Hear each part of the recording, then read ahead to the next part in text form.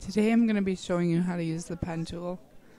First of all, you make sure that there's no fill color.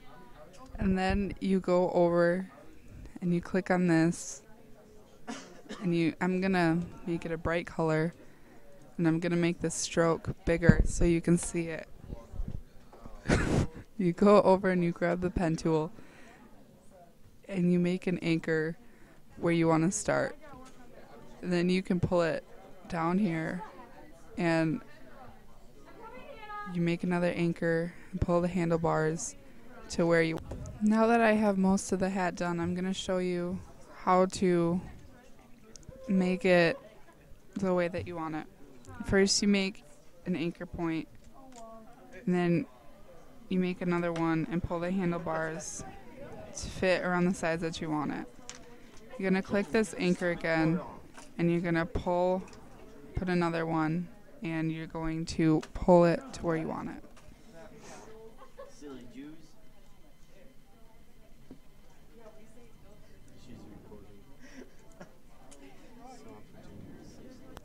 Now that I whole, have the whole hat outlined, not perfect, but I'm going to color it in.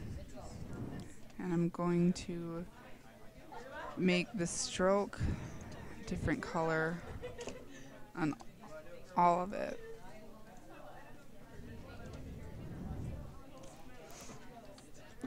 And if you need to change the handlebars, you can click on that and press control and you can click on one of the anchor points.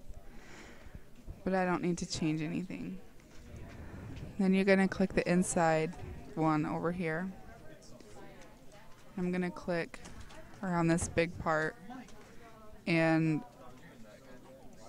I'll make the hat blue. And on the inside of this, um, it can be yellow.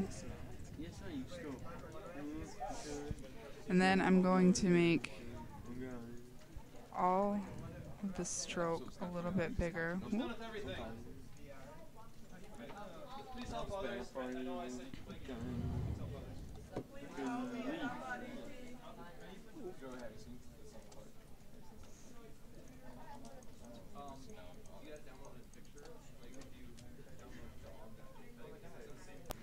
After making the stroke bigger on all of them, I have my Santa hat.